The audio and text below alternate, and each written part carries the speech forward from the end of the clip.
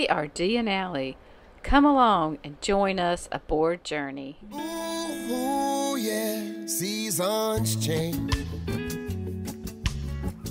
No promise of tomorrow, but that's okay. Just living the moment day by day. We leave Jacksonville's Sister Creek Free Dock at high tide. Maybe it was a king tide, but the boat ramp didn't even look like a boat ramp. Yeah, that is a boat ramp. With the crazy high tides right now. We're making a short run to north of St. Augustine. We anchored in a beautiful spot just off ICW called Pine Island South. Perfect spot for us for the night away from busy St. Augustine. The next day we passed through St. Augustine and the beautiful homes along from the ICW, including this. Do you think these guys know that sign is there? Hmm. We cruised into Daytona Beach for a few days, where we explored the beach, found a chalkboard bar, yes, got some shots of Journey from the shore, and enjoyed watching some nightlife from Journey's front deck. All right, so we're anchored in Daytona Beach. Just toward the beach is this bungee.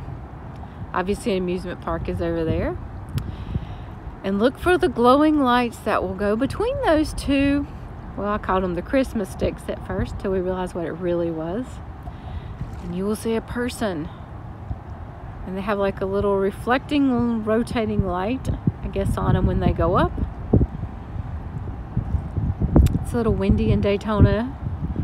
Oh, okay, it's just breezy. I shouldn't say windy because we left Georgetown. We had 50 knot wind, so this is like a light breeze, but it's a little breezy.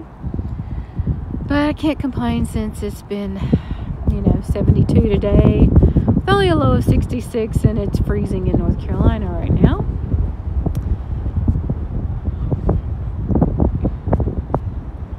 There he goes. You see? that is high. That is a person. That is a person.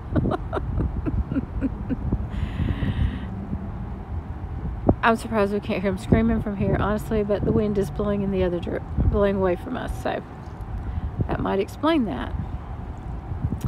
And there's number three. And I think they get a four.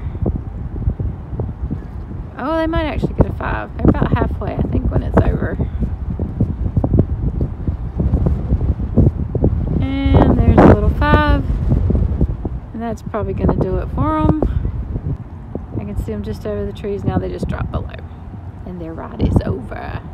This dock not far from where we anchored seemed to be home to lots and lots of seagulls.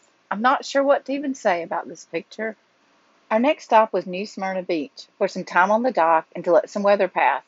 We enjoyed the pool, finally time to make bread in my new bread machine, and off to use the new to us folding bikes to make a Publix run and explore the beach area. It was a great stop. We pulled into Titusville for fuel and got a glimpse of Revel on a mooring ball. Wish we were stopping and could get to know them better, but we are off to the Free City docks at Cocoa Village. We arrived to one spot just for us. From here, we could walk to a Dunkin' Donuts and get some good Wi Fi and coffee to work. And we ended the day at Ryan's Pizza and Pub with a great view of Journey and a large slice of pizza. After another few days, we continued south down the Indian River and caught this plane circling. Not sure if they were just having fun or spraying.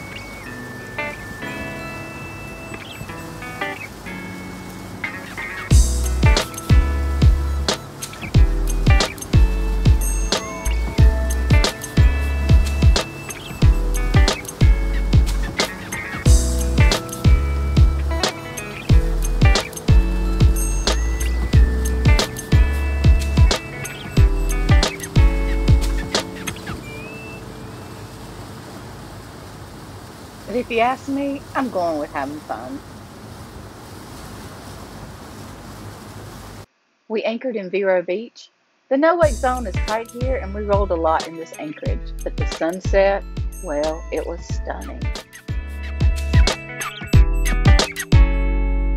So we were up early and off out in the Fort Pierce Inlet and down to Lake Worth to anchor in West Palm before the next storm arrived. It was a beautiful, smooth ride down to West Palm and the Lake Worth Inlet.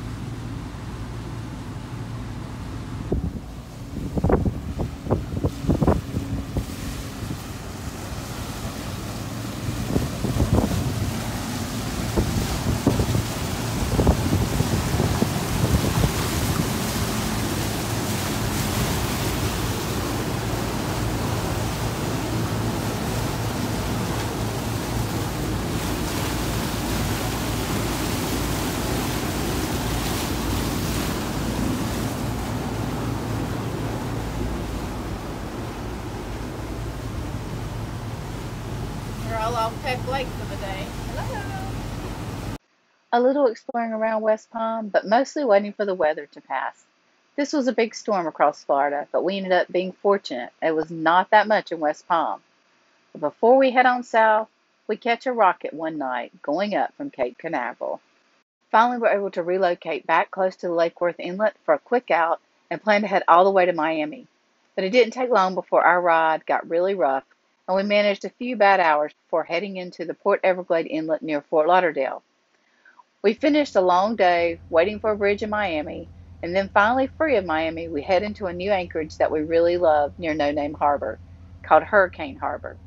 It was a really quiet overnight, which we needed after that rough ride.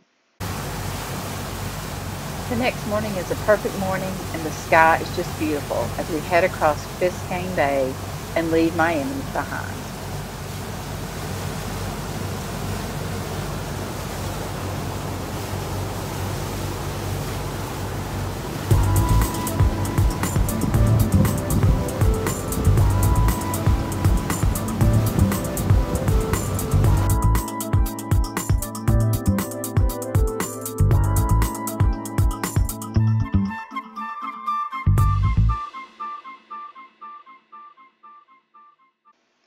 As we arrive into Key Largo, we are always greeted by dolphins, who spent quite a while in our wake. We caught this stunning synchronized jump just for us. We passed Belagata heading north, who are now spending their summer in Maine, before heading into Islamorada to anchor, enjoy beautiful anchorage with a stunning sunset for our arrival back into the Keys.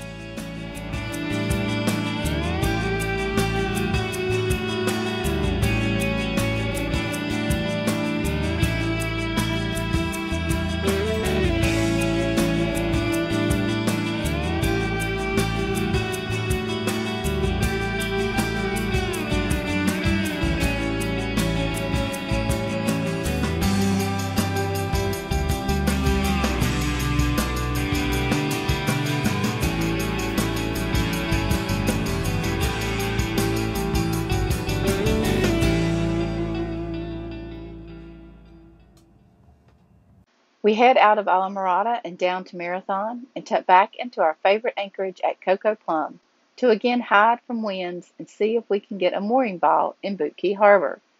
What we learn is that the waiting list would be about three weeks.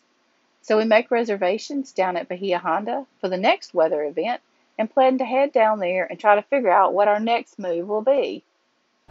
This is our first time at Bahia Honda and we fell in love with this place. The people are great that volunteer and work here. They are so good to cruisers with free ice and a drink each day.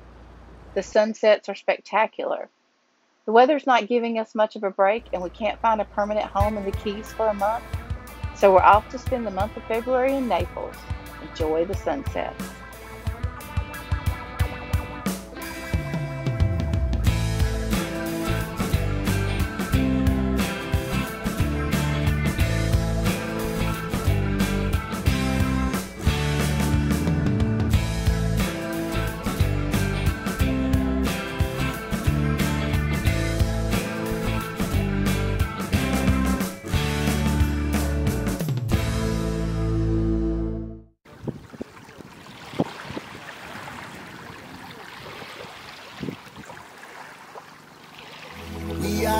Living in the moment, capturing enjoyment. Oh, we are living in the moment, life full of enjoyment.